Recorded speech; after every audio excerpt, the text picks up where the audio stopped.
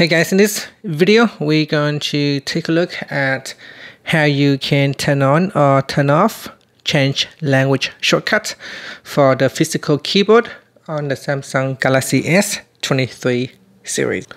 First, let's go back to the home screen by tapping on the home button at the bottom of the screen.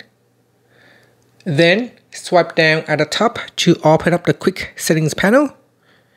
In here, tap on the settings icon then we scroll down and then tap on General Management.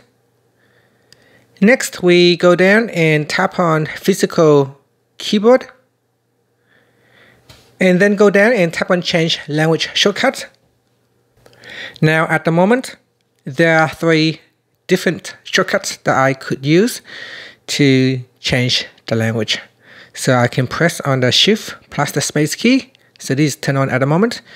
If you don't want any of this to turn on, you can switch it off or you can leave just one on or you can simply just choose the one that you want to use.